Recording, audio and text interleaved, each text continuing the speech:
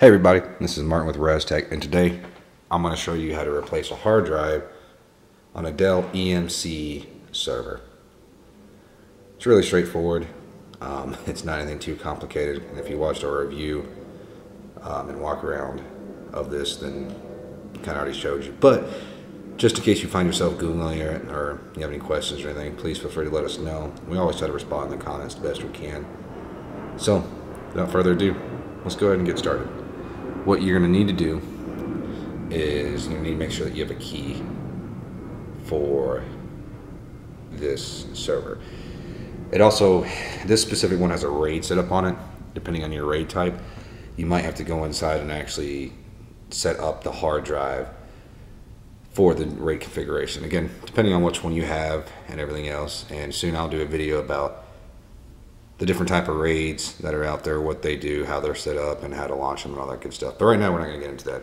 So let's go ahead and get started. All right, so we're going to show you how to replace your hard drive real fast.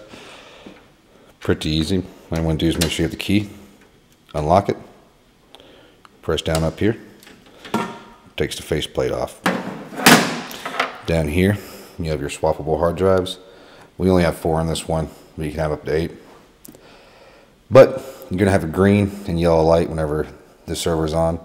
Green means everything good. Everything good. Green means everything's doing pretty well. Yellow means uh, you have an issue of some sort. But all you do is press this circular red button right here. This lever's going to pop down. Pull out.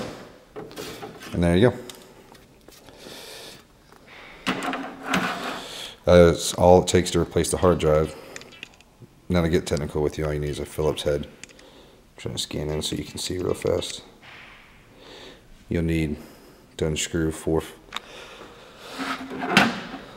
four screws.